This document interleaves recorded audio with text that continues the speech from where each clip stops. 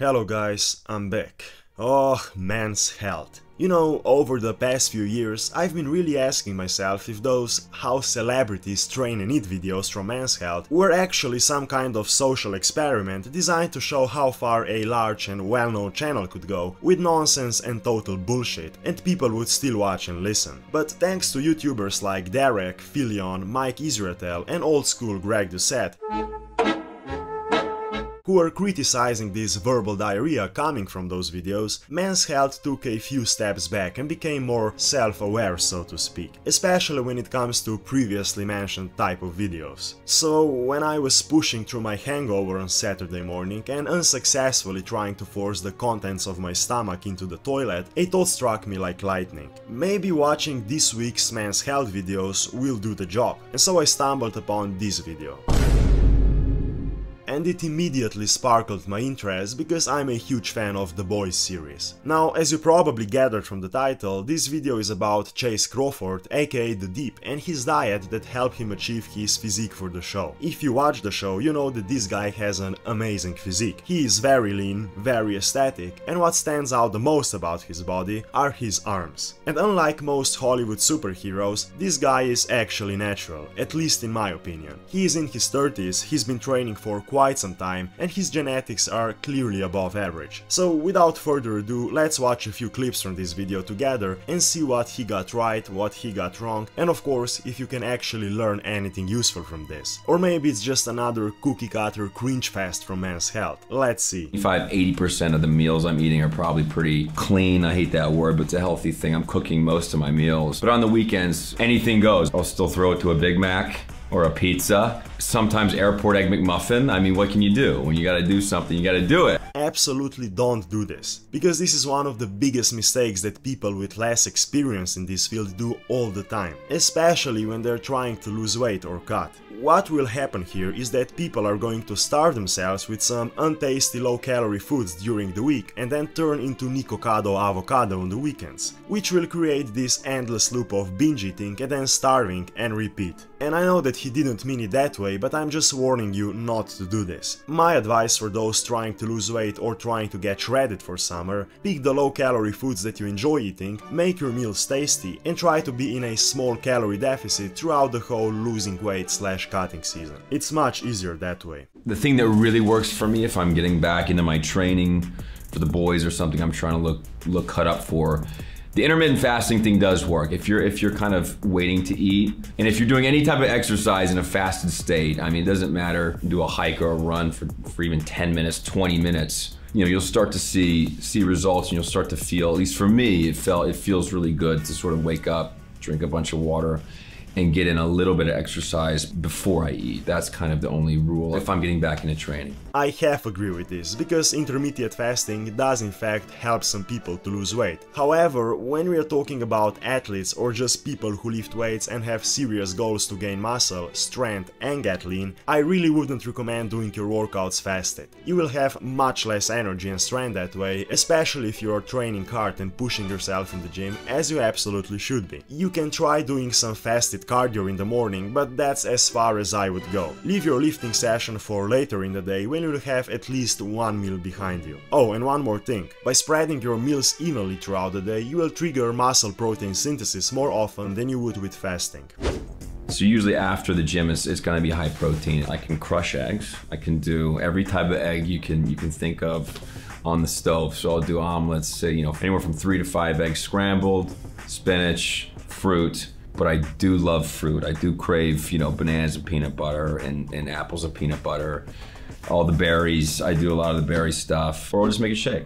Okay, first of all, for the vast majority of people, eating more than 3 whole eggs in the morning is unnecessary because you're adding a lot of calories. So instead of 5 whole eggs, do 3 and then add some egg whites for example. And again, remember that we are trying to get lean here, so we have to think about calories. Otherwise, whole eggs are one of the best protein and vitamin sources and I'm not one of those fucking retards who say that eating more than 2 eggs per day will kill you. When it comes to veggies and fruits, I absolutely agree with him. Keep those in your diet, minus the peanut butter of course, if your goal is to get shredded. order from Erewhon if I'm lazy, um, which is ridiculous uh, because it's so insane. But I'll usually cook my lunch, just make a bunch of chicken breast, have it, sweet potato, broccoli in the fridge. I think cooking your own food uh, goes a long way into not eating a bunch of crap. Yes, I definitely recommend you cook your own meals because it's much easier to track your calories that way. I have not much to say about his lunch. It's great. There is plenty of protein, veggies and of course sweet potatoes as a very decent carb source. The only thing I would like to remind you of here is to keep an eye on how much oil you put in your pan because you can easily add 200 plus unnecessary calories that way. And usually I'll eat pretty a pretty big dinner. I don't know if that's ideal. I don't know if that's best. Some people say light breakfast, big lunch, light dinner. No, it's definitely not bad and you shouldn't worry about things like is my dinner bigger than my breakfast etc. Because at the end of the day it all comes down to a simple calorie equation. And even more, if you are on a serious cut or prepping for competition, I would advise you to leave the biggest meal for the evening because that's when you usually get hungrier and have the most cravings.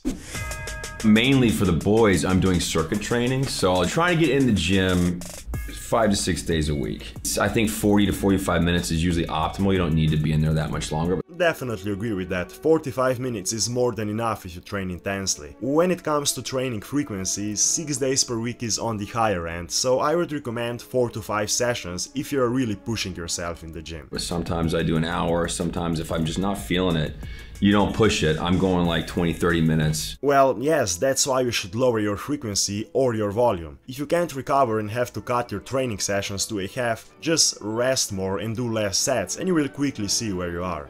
I like to do a lot of body weight stuff and old school stuff, just bench press. Like I'll do incline, flat bench, push-ups, dips. I have a dip bar in my backyard and I have you know, I got these like adjustable dumbbells from 2020. And he talks about classic old school weightlifting training without too much complication, which I again absolutely agree with. Trust me, you would be surprised if you knew how much you can achieve with a pair of rusty dumbbells, an old bench, pull-up and dip bars, and a cup of Turkish coffee mixed with depression. If there's a will, there's a way. The same goes for drinking when your wife is obviously trying to hide alcohol from you.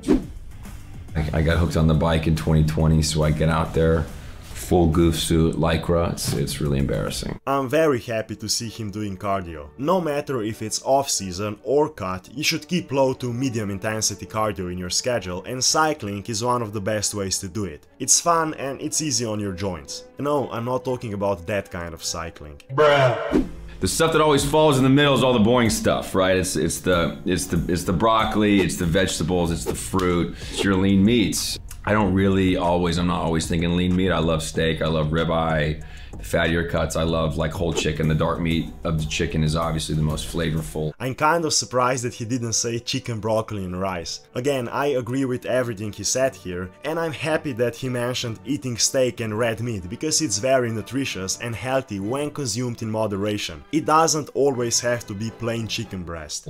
I'm not a guy who counts anything. No, I can't. I long ago I was like I'm not I'm I'm I'm I can I can lean into like being OCD in other parts of my life. I'm like I'm not gonna. I'm not gonna start in my food ever. You know, I do think portion control is a, is a thing. You kind of, you know, like, uh, you know, a baseball size thing of peanut butter is different than a, you know, a teaspoon. Like, you know, so you can kind of, kind of watch it. But I don't restrict fruits. There's no fruits that are off limits. So for the end he talks about how he doesn't weigh food or count macros and that it's all about portion control, which I would partially correct. Look, you can do everything he said here once you have some experience in this field. For example, when I was in my late teens, early 20s, I started taking my diet much more seriously.